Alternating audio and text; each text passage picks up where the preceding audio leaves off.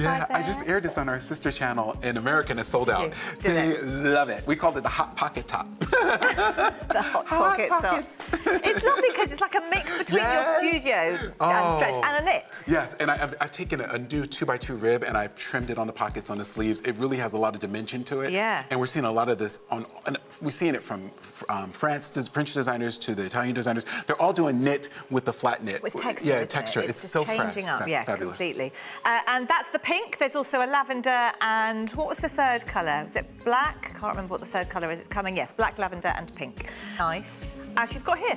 So And perfect. And what's good about good about these is that if you're a jewelry girl, you can really showcase your jewelry. Yeah, yeah. My mom, she likes sometimes to wear a short sleeve. She doesn't like a full length sleeve some days, and this is a perfect like those in between days when you don't want to be so layered.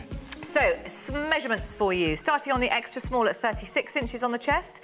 The small is 38. The medium is a little bit bigger, a little bit smaller. Let's put this Oh. amount of sequins on. No, too many, no, too little. Then, then you get to the fit room with the QVC fit specialist. You go, oh, whoa. here comes Athena. Hide, everyone run and hide. Uh, we'll talk about this top in just a moment. I Purple. love- When she does the little shimmy Oh, dance. yes, That was one of my Oh. favourite movies for years.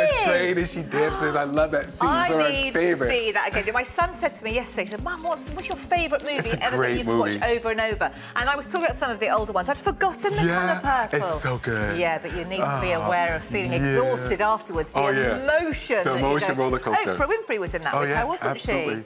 Absolutely. Amazing, absolutely But amazing. pretty colours. We love all the old kind of, not just so, I had a shirt from Topshop that I bought in the 80s that Yeah. was this colour. I loved it so much. I must have re-dyed it time and time and time again because it would fade. Obviously, it was a cotton shirt. Yeah, we yeah. love our cotton shirts.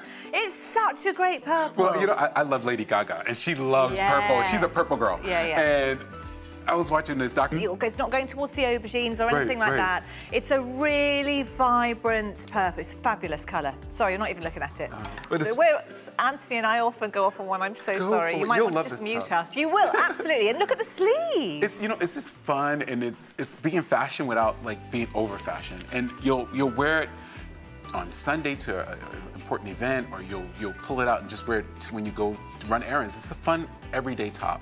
And £32 and 52 pence. Really. But the things like Instagram, though, allows us to really Yes. see Well, what everyone you. else is doing. So I see do what you're you? up to. Uh-oh. I follow you and I a follow window in on Allie. everyone. It's you great. and Allie. I'm like, what are you? What are these ladies doing? today? and then Yes. Allie tweets. I'm like, here comes Allie. The bird just flew across the phone. Isn't that amazing when that happens? You're like, oh, quick, Claire? quick, something's happened. when Claire's family's got something cooking, I'm like, there goes Claire. yeah, totally. And that's the joy of social media. That's the world that we live in, isn't it? One